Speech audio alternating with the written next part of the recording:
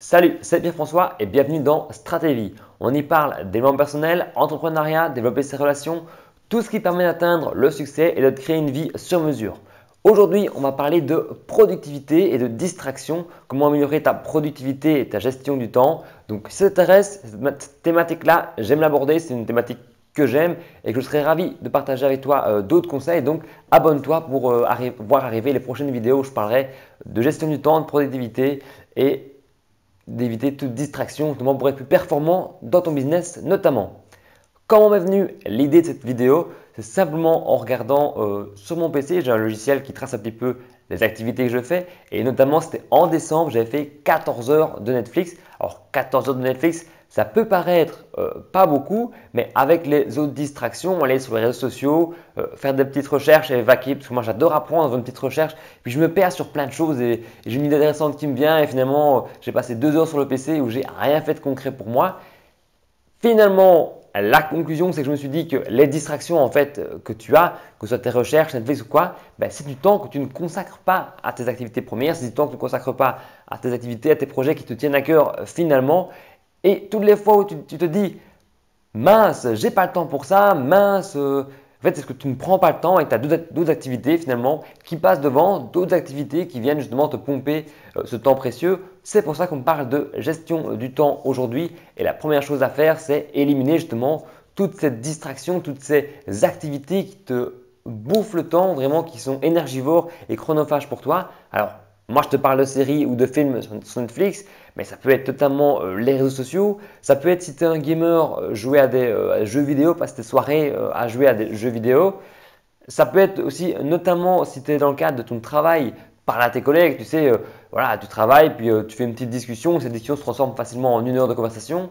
Donc, éliminer ça. À la technologie, évidemment, bah, c'est plutôt se mettre en mode avion si tu travailles sur ton GSM parce que les applications, les notifications, les mails, etc ça te bouffe aussi un temps précieux parce que le temps de te remettre dedans, de te reconcentrer, tu as encore perdu euh, un temps énorme.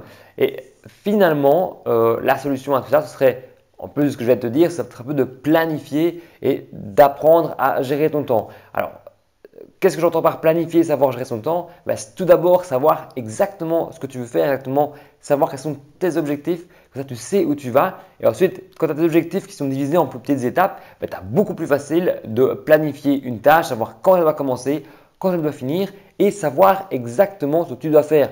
Pas comme dans une entreprise où on voit des gens qui travaillent, qui travaillent, qui font plein de choses et qui finalement, ça n'a pas de sens euh, vraiment en tant que tel pour… Euh, pour avancer ensemble, mais c'est juste pour euh, ils s'occupent, voilà, parce qu'ils se créent des tâches juste pour s'occuper, parce qu'au finalement, c'est rien de productif.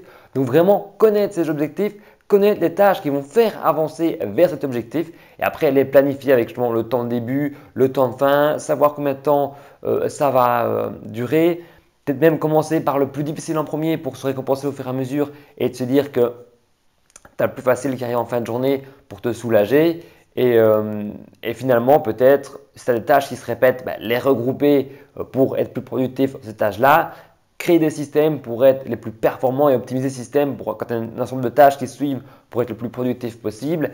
Et surtout, ne pas oublier d'être super focus sur une seule tâche et pas se diviser sur deux, trois tâches à faire en même temps. Notamment avec, si je une astuce comme ça dans cette vidéo, le Pomodoro, j'en ai déjà parlé. Tu fais 25 minutes de travail pour 5 minutes de pause mais pendant ces 25 minutes-là, tu es super focus sur ce que tu fais, tu es focus et donc tu n'es pas distrait, ton GSM est en mode avion, euh, ton ordi peut-être éteint, tu travailles pas sur l'ordi, les réseaux sociaux, ils ne sont pas là, tu es vraiment sur ta tâche et quant à ça, ben, tu auras finalement plein de temps pour toi, tu pourras avancer sur tes projets, tu pourras euh, te rendre compte que ben, finalement le temps tu l'avais et pourquoi pas après pour te récompenser fin de journée, ben, là tu pourras regarder ta série ou tu pourras faire euh, un jeu vidéo on n'est pas non plus des robots, donc il faut savoir prendre des pauses. Et comme ça, ça me permet aussi de rester sur le fait que savoir gérer son temps, ça passe aussi par prendre des pauses, sinon on va euh, vers le burn-out.